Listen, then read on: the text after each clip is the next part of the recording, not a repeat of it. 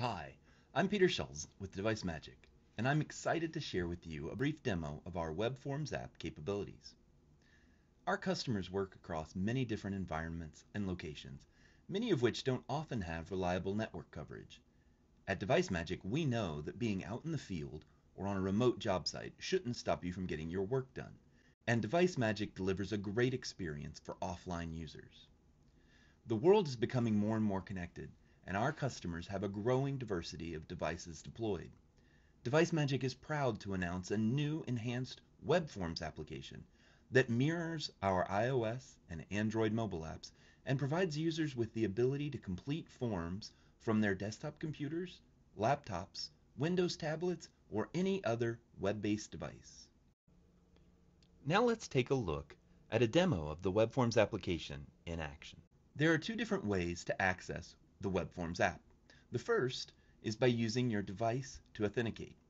If your user already has a device, they can leverage that device to authenticate to a web form without the need for an additional device fee. When they navigate to the devicemagic.com slash web page, they will see a QR code and they can use their mobile app, go to the menu, select Authenticate Web Client, and put the green um, braces around the QR code and they will immediately be into uh, the application. The second option is to use a login. For this, the user would just enter their email address and password, as well as a two-factor if that's configured, and now they'll be in as well. Device authentication is automatically enabled if the user already has a device in the organization. Uh, login authentication does require some additional work for you to set up.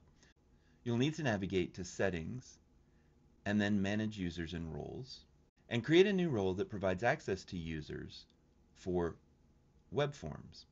Uh, you could call this role web forms and then choose the, uh, the option that says online forms access and uh, that will give your users access. If you want to give them other uh, permissions, you can do that as well. Uh, you can set up as many roles as you want.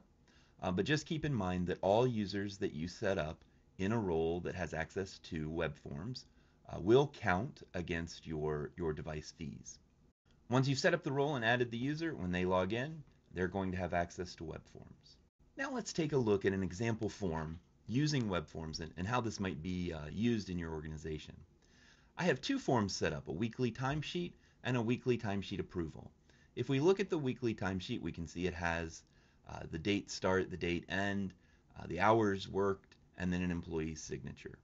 Pretty straightforward, just capturing uh, the information from a user about the hours they submitted in a given time frame.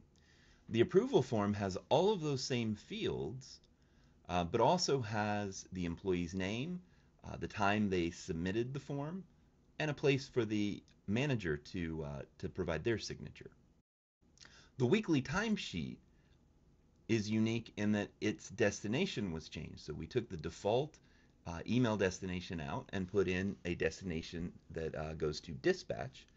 And the dispatch destination is going to point to that weekly timesheet approval. Dispatch destinations are a great uh, feature that let you connect forms together in a workflow. Um, and doing this here will allow the submission of the weekly timesheet to automatically uh, generate a form uh, for the weekly timesheet approval.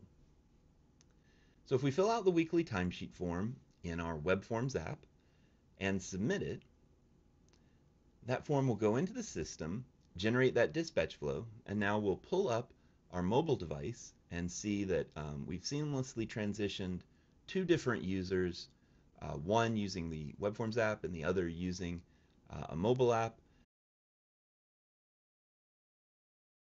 and they can open the weekly timesheet approval. Everything is uh, set to read only except for their signature so they can sign off and save.